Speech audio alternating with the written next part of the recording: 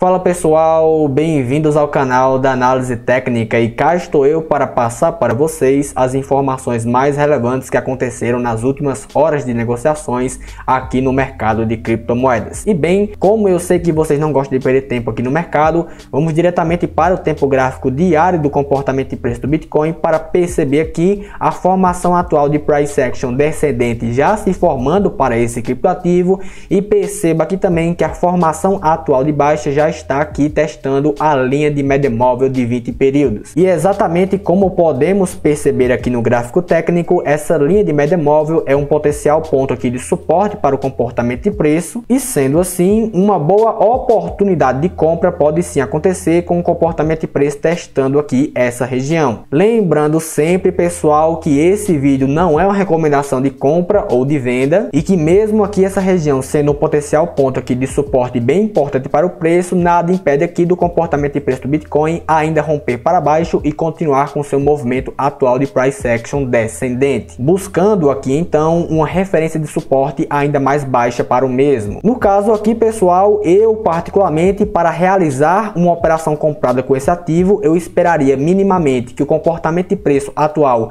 acabasse de fato respeitando e fechando aqui acima dessa região de linha de média móvel bem importante e também esperaria que o comportamento aqui de de índice de força relativa também ficasse acima da região técnica de equilíbrio de 50 pontos da sua escala. E claro, pessoal, um outro fator técnico bem relevante que eu levaria em consideração seria justamente o volume de negociações para o dia de hoje. Então aqui também seria bem relevante que o comportamento atual de volume não superasse o comportamento de volume do dia anterior. Então para você que deseja abrir uma posição comprada com Bitcoin nesse momento, eu sugiro que você também observe esses fatores técnicos aqui bem importantes antes de você abrir a sua posição comprada. Já aqui na Ethereum, pessoal, também no tempo gráfico diário, podemos perceber aqui alguns fatores técnicos bem semelhantes com o que vimos anteriormente com Bitcoin, além de também perceber aqui uma formação de um padrão de preço bem importante que é a formação desse topo duplo aqui no mercado, sinalizando então um pouco mais de cautela com operações compradas nesse momento, principalmente se o comportamento de preço atual acabar rompendo aqui esse fundo anterior do mercado mercado. E caso então isso aconteça, é bem provável aqui que o comportamento de preço acabe buscando na linha de média móvel de 50 períodos como um potencial ponto de suporte para o preço. Então também é bastante relevante para você que deseja comprar Ethereum nesse momento que você observe aqui esses fatores técnicos e esses possíveis movimentos de preços para o ativo. Porém, claro, pessoal, também existe a possibilidade do comportamento de preço atual da Ethereum acabar encontrando um suporte bem importante tanto aqui nessa região de fundo anterior de mercado, quanto também aqui nessa região de linha de média móvel bem importante, fazendo assim com que o comportamento de preço acabe ainda aumentando e não caindo. E aqui um outro ponto técnico bem importante que você deve estar atento com o comportamento de preço da Ethereum, caso aqui ele apresente uma nova baixa para o mesmo, é exatamente nessa região técnica aqui próxima a 2.892 dólares, em que nessa região, pelo princípio da mudança de polaridade existente entre suportes e resistências, o comportamento de preço pode sim acabar encontrando nessa região um potencial ponto aqui de concentração de demanda para o ativo. Já indo aqui para a WTC, nós podemos perceber aqui também no seu tempo gráfico diário um comportamento de preço ascendente e acima de linhas de médias móveis bem importantes. Aqui no caso, nós podemos perceber que o comportamento atual de baixa ainda está distante aqui de testar uma linha de média móvel bem importante, porém, como também foi dito anteriormente, essas linhas de médias móveis podem sim servir como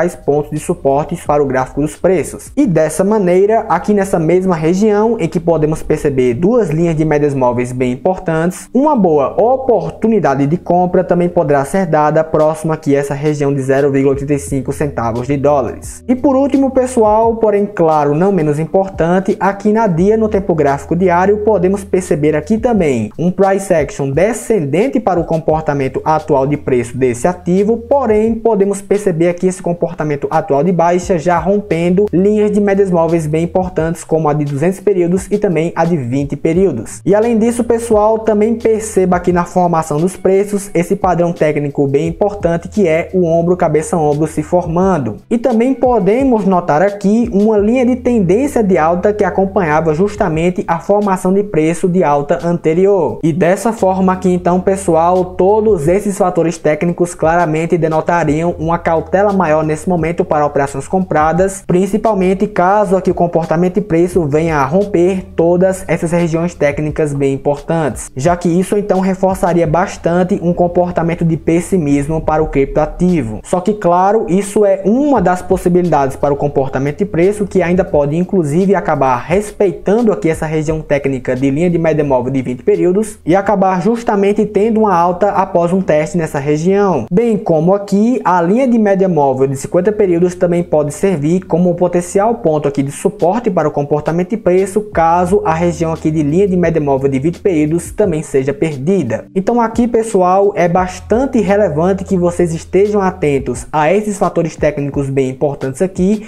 antes de vocês abrirem uma posição para esse ativo no mercado de criptomoedas. E bem pessoal, essa era a análise que eu queria passar para vocês hoje. Se você ainda não é inscrito aqui no canal, se inscreva aqui embaixo, deixe também o seu like e um comentário sobre o vídeo e até a próxima.